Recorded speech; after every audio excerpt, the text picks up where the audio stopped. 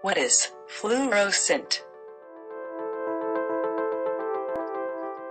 What makes it different from other materials?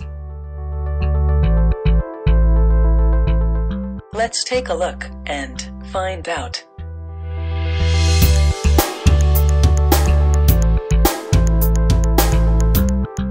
First of all, it is probably right to tell you that the name Fluorosint is trademarked.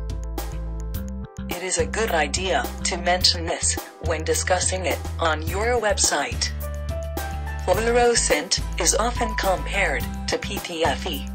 PTFE stands for polytetrafluoroethylene.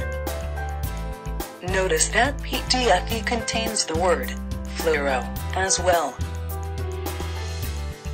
This is not a coincidence. Fluorosint is actually synthetically manufactured mica, bonded to PTFE to form a unique plastic.